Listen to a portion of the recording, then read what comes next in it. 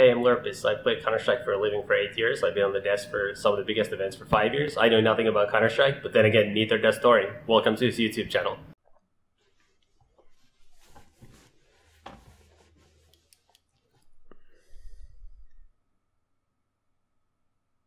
When I use the phrase hype train, I actually like to refer to a definition of the word hype that the legendary showman, entertainer, and mixed martial artist Chael Sonnen used because he was someone famous for trash talking, building up a fight, being able to sell a fight and make people excited about it, even though famously his style was kind of a like lay on you wrestling ground and pound aspect that people generally don't enjoy as much in MMA.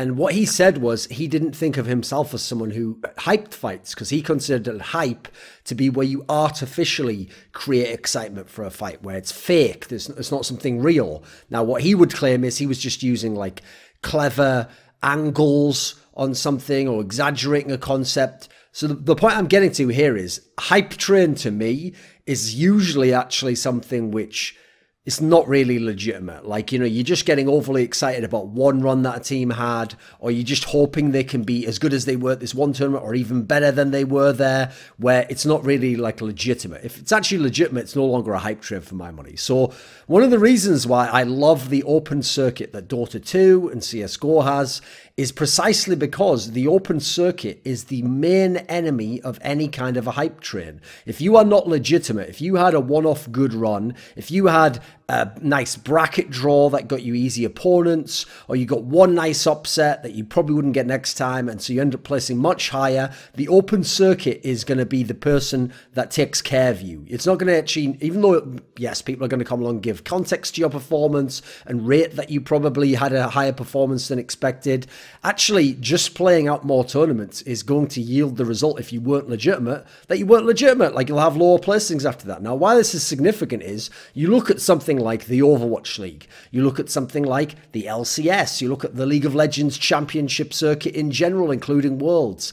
And because these are long drawn out and there's only a few key instances of a final result the end of the lcs split the end of the gauntlet the end of msi the end of the world championship as a result before that you don't really get the kind of conclusive results that people consider when they're looking at trends and when they want to say how good a team is. No one's really remembering, oh, but remember how good that team was in week four of the NALCS back in season four. No one remembers that shit. They just remember if you won or lost the overall split. So what should have been 10 different storylines get condensed down into one final storyline that's retroactively applied to everything. And that's the only way people remember it. And so the worst thing is when you get an upset, when you get a hype train that gets going and it would have only lasted for one tournament, because one tournament now is three months, or there's only two of them, or three of them in a year, people end up taking those as gospel. I mean, it would be the equivalent of legitimately telling people in 2007 that the best team in the NFL must have been the New York Giants because they won the Super Bowl, even though they weren't even one of the best teams going into the playoffs. A number of their results in the playoffs were upsets. The winning in, in, in the Super Bowl was a massive upset, and the team they beat in the Super Bowl, I think most people, the majority of experts and players would say was the best team that season, the Patriots, and in fact one of the best teams of all time, even though they indeed did not win the Super Bowl. So when these results happen in games that don't have an open circuit, people can not only refer to these one-off results results as if they were just an accurate representation of who that team is overall and how good they were, but they can do so for months or even years. Like when North America, for once, outplaced Europe at the League of Legends World Championship, it was in Season 4 World Championship, and all they did is get to the next round, and one of them was as a result of a massive upset of a European team losing in a crazy fashion, and the other one was a lucky group draw. North America bragged about this for literally the entire next year until the next Worlds. So one year people had to hear this garbage because there was no extra chance to show that it wasn't the case. This year, with Cloud9 making the semi-finals, people will probably talk about that for years to come. People will make out like it's NA did good, even though actually only one NA team made the playoffs. Then you look at I mean, think about some of the teams that win the LCS like not only do they get to carry that until the whole next year until the end of the next split but sometimes you have scenarios like this year in the lcs a team called 100 thieves the team that was had that CSGO team that was going to be the Brazilians but pulled out in, in League of Legends, their team was the second best in the spring split, made a couple of key changes, made them not as good in the summer split, but until they actually went out in the summer split, people still acted as though they were still the same team or, you know, because they came second in the other one, like they're still going to be extremely strong now, even though by the end of the split they were a joke. Now, that's because, again, there wasn't enough key points in between then for people to make a decision and to notice that they weren't actually as good as they had been months prior. CSGO, we don't have this problem at all. First of all, we have majors, and yes, the major results can be big, but what's great is you've already seen with two of the last three major winners, Gambit at PGL Krakow 2017, and obviously this year, Cloud9 at the Boston Major, the E League Boston Major, you've already seen that you didn't have to wait six months, three months to find out that these teams weren't legit. What happened was you get a large data sample size from before the major, from after the major. The major itself doesn't get like months and months off after it. So you get these teams tested. You get other teams who, if you're an underdog and you have a big result, now they focus on you. Now they do some research on you because they've seen you got a big result or you've beaten someone they actually consider legit. Teams will spend time figuring out your map pool from online play, from all your other results, from trying to figure out what their strengths are. They will exploit the map pool against you. Teams have actually played against you, so they have a sense from direct feeling of what your resistance is like in the server and what you do there and what their intuitive feel for how you're playing the game with, as well as then studying the demo and breaking down exactly what you did, but from a, a, a scenario where they know what they were doing or what they were capable of, so they can now gauge better how to beat you, how to play against you, how to neutralize some of your strengths or emphasize their own strengths. There's also, beyond even just that, the intangible of there's no more spotlight on you, there's more pressure on you. You've got something to lose now. You come on with expectations where before maybe you were an underdog team or a less uh, favoured team or just a dark horse who people didn't think would win the championship. I mean, you look at some of the recent results, and these are great examples of how hype trains that could have lasted months got very quickly killed. And I don't think that's a bad thing, personally. I really appreciate it. So let's think of the major, where obviously, especially in the olden days, finishing top eight at a major was a very prestigious accomplishment well, maybe very exaggerated. It was a prestigious accomplishment. It was important because it got you into the next major, definitely. And obviously, it made people feel as though you were a team on the rise, a team that was capable of things. Well, let's look at three of the teams that placed top eight at the last major and got that legend state. So we've got Complexity from North America, Hellraisers from CIS slash Europe, and we've got Big from Germany primarily, but obviously they have a UK player as well. All three teams made top eight at the last major, but you didn't have to wait long to very quickly find out those results were either fortuitous performances, slight performances, or even big overperformances. So Complexity's top eight of the major looked like one of the most impressive because they were 3-0ing all of the stages. They even beat out some quality teams. Now they got absolutely dusted off in the playoffs, but then you thought, well, you know, nerves, like a bunch of them have never been, in fact, all of them have never been in a playoff scenario where they've been in the major.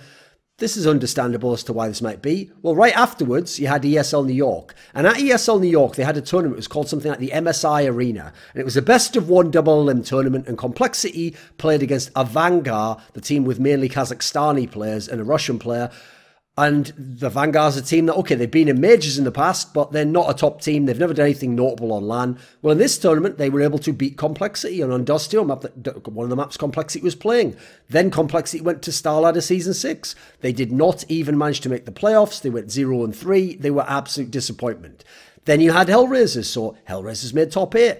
Right after that, they went to Starladder themselves. They also failed to make the playoffs. They also had a very woeful result. Right after that, they went to Epicenter. They should have been one of the teams that had a real capability to do some damage. They couldn't really put up any sort of a fight in their group. They weren't really a significant kind of player at the tournament. Again, they showed that they weren't some team burgeoning upon becoming very good. Then you had Big. So Big had their top eight. Obviously, the past they'd already had a legit result with the Cologne run, but then they went to Starladder. They made the playoffs and they went out in the quarterfinals. Yeah, they lost to the winner, but the winner was a dark horse. Hence, that wasn't even a top three, top four team at the tournament. So Big ended up actually in fact, the only map they won against ENCE was even somewhat, you might say, fortuitous. Like ENCE looked in control that map the whole time. They didn't even make top four, didn't make the final, they didn't win the tournament, in a tournament where they were considered one of the bigger names, a top three, top four name themselves. Then they went to CS Summit, a tournament that had even less top teams than Starladder. They weren't able to make the final of this tournament. They weren't able to win this tournament. They finished in third place. They lost to Optic. They lost to NRG. These were results that showed that they were not a team that actually had like elite quality. They've had some good results and they've had a couple of good placings. Then they went to IEM Chicago. IEM Chicago contained a very good result. They beat Na'Vi in a best of three. Didn't matter. They still went out in the next round. They still went out ninth to 12th at the tournament. Didn't make a deep run overall and were not a, a significant team. So these runs afterwards really helped balance it out. Then let's look at some of the teams that didn't have major success, but likewise got evened out by the tournament circuit. So the very same ENCE that won Star Series looked like a well-rounded team, looked like a squad that could do things. They didn't get the same production out of their players when they went to Epicenter, and so they couldn't make any kind of an impact. They couldn't upset a FaZe clan that had just swapped out their in-game leader. They couldn't upset a Na'Vi that had just finished outside of the playoffs at ESL New York. These were results that it should have been right there for them to potentially cause a big upset and continue on their form and continue it at a higher level and shows it wasn't just a low level result that they could do it against slightly better opposition. Couldn't do it. They're very same Avangar that upset complexity. Okay, let's not let them get too crazy off upset and complexity because they went to Epicenter and you know what? At Epicenter, they did it again. This time when they managed to beat NIP in a best of three. They managed to actually play Team Liquid decently on a map. They showed some decent performances. They even had some nice rounds against Na'Vi in the semi-finals. But they went to IEM Chicago, and there was nothing relevant whatsoever about their performance there. Outside of CIS region, they looked like their game entirely disappeared, even though they had that win over complexity in there. Now all of a sudden, as good as those best of threes were, IEM Chicago makes you think, ah, maybe that was just a good couple of days. Maybe people haven't studied Avangar enough. Maybe they had some overperformance from people like Jame who didn't perform in Chicago. Then finally, let's talk about a team that's a very good team, the best of all the teams I'm referencing here, but they've also showcased this, which is NRG. So NRG didn't even make it to the major. Wow, must be trash, right? But they go to a tournament like Summit, which features a number of teams that are in theory below them or around the level of competing to get into the top 10. So we're talking like Big, perhaps Optic now. You look at some of these squads, G2 that still has kennyS and shox. They managed to win this tournament without losing a series. Yeah, they lost maps at time to time. Yeah, they had times where people pushed them, but they won the tournament. They didn't have to use the tournament life. They even won a best of five, 3 1 in the final over Optic. They beat all the notable teams that basically they were at the tournament and went deep. They just showcased that they were much better than the rest of the squads there. But then they go to IEM Chicago. Do they make some sort of a top finish, top run? No, of course they don't. Just as in the past, when they couldn't make the major, but they won IEM Shanghai. Right, let's boost them up a level. Let's see them at DreamHack Stockholm. What's that? Ah, nothing relevant there. No big results. So one of the things I love about this is that you can make the arguments, and obviously analysts would anyway, but the scene itself will take care of it. If they can play three, four tournaments and have big results, then yeah, they're going to be a very good team. They're a legit team. You start to see them get into a position where they look good, like Team Liquid does. They've had the occasional tournament where they bombed it. Remember, they made only top eight at Star Series Season 5 when they lost to NRG. Uh, they also had that result where they were like last place at, at ESL One Cologne. But aside from that, the rest of the year has been so fabulous that it's clear their quality. Those one off results, just as a positive result for someone, an overperformance could be exaggerated for months and months. Imagine if we only had one big tier one international LAN every three months in CS, and that happened to have been ESL Cologne, and everyone's saying, oh, Team Liquid, they need to make player changes. They're not an elite team after all. Like, they showed that they can't be that good. Puh, losing to people like North, how fucking good could they be? Well, we've seen how good they can be now when they've had more chances to play these tournaments. This is one of the reasons, it's a side reason as to why I never got the whole oversaturation angle that people push in CS. Like, I get it that people push it because they want to watch all the games and they don't have time, or they're not around at this particular time to watch the game live and they don't want to watch the VOD, or they just wish they could get a, a keep track of the whole scene in the way they might about the NFL or the NBA or whatever. But the problem is, yeah, if the games suck, yeah, complain about it. But mainly you just complain the games suck.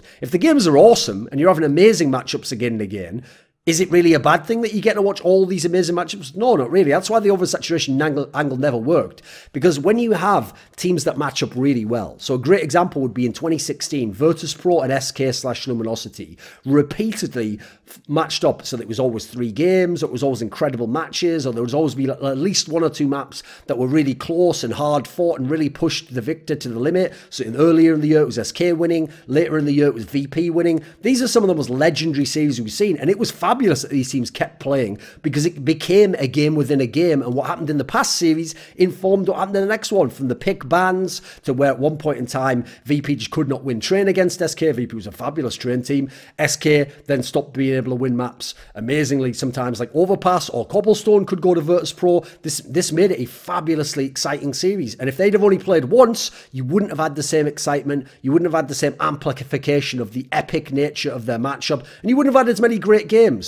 Another aspect that's cool about the very open aspect of the circuit is you get the smaller tournaments as well. And at these smaller tournaments, you can have a scenario where a team like an NRG, a mousesports, whoever they are, teams that aren't like quite the elite teams, but are very good teams, North, Optic, good teams or bordering on good at times, they might have a decent run one off a, big international line. And so if it seemed like a North or an, or an Optic, just to finish top six would be, or top eight would be a nice result for them. But if you then go, right, well, they're clearly like the eighth best team in the world, send them to some of the DreamHack Opens or send them to a smaller star ladder or send them to a LAN that isn't as massive. And as we've seen this year, they might not win the tournament, even though all the teams there are ranked below them. All the teams there are considered squads that aren't supposed to be as good, wouldn't do as well at the tier one tournament. So even for the sort of medium or lower level level teams, this open circuit really shows us who they are as well. So, what I love about the open circuit aspect and the fact it kills hype trains is it means that when teams don't turn out to be a hype train. When they actually turn out to be legit, you either get a new top team, so a team like NRG can start to enter the ranks and give us a few big performances beyond just one nice performance over the year. And we can say, yeah, they're not a top five, top six team, but they're getting legit in the top 10 and they're starting to build up to where they might be able to go higher in the future, but we don't have to crown them yet when they haven't done it. But on the other end of the equation, when a team does actually do it, and they are very good, like the Team Liquid example, you get to see greatness and excellence on a much more meaningful scale than if it was a league format because you're not waiting for the final result at the end of that particular season. You're getting it every tournament, and then every tournament added to the others and drawing an average through them. You can get an idea of where they're at. You can look at who they're beating and who they're losing to, and how often they're placing the high placings and how often they flunk the tournament, and get a very good sense of how good, how great, how excellent, how average, how bad a team may be, depending on the example. So it reminds me of one of my favorite quotes. I think it might even be like a Camus quote where it's like, don't wait for the final judgment. It happens every day. Like that's how I feel about the open circuit. And that's one of the reasons I love the open circuit compared to leagues or closed circuit formats. This video was kindly supported by Andreas Snazore Westerlund, Dean Tanglis, Gardner Wilson, Landon Thompson, Tobias Bernasconi, Ollie J, Nate D-O-G-G, Kyler Harris, Travis Greb, Daniel Yordanov, James Harding, VeXii, Robert Baxter, Lucas Kerza Szczesny, and a special thanks, as always, goes out to my man, Jerky's Minion.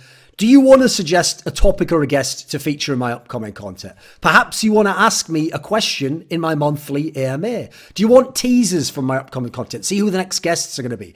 Perhaps you'd like to take part in a discussion about esports with me. Well, any and all of the above exclusives are available for my patrons, so put your money where your mouth is and join the Scrilluminati today at the Patreon link below.